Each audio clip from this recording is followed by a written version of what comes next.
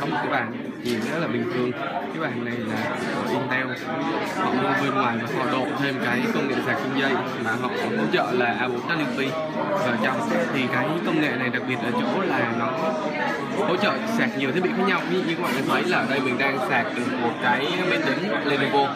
Tức là cái nguồn ra rất là mạnh. Hiện tại thì nó khoảng 40 đến 50 w thì tùy vào tức là tối đa tùy của công nghệ đang hỗ trợ. Nhưng mà Intel cho biết là sẽ hỗ trợ thậm chí cả PC trong thời gian tới.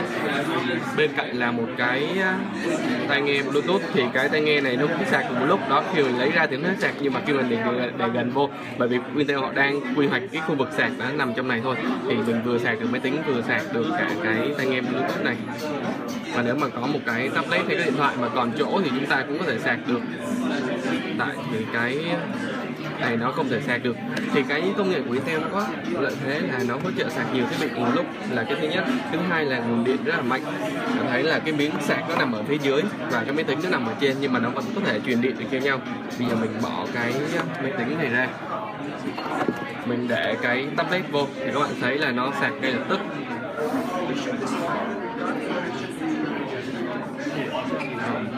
Quay lại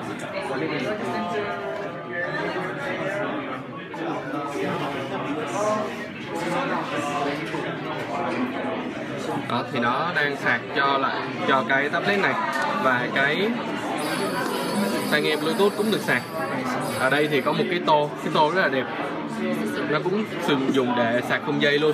Thì mai mốt chúng ta có cái điện thoại, chúng ta đặt lên đây.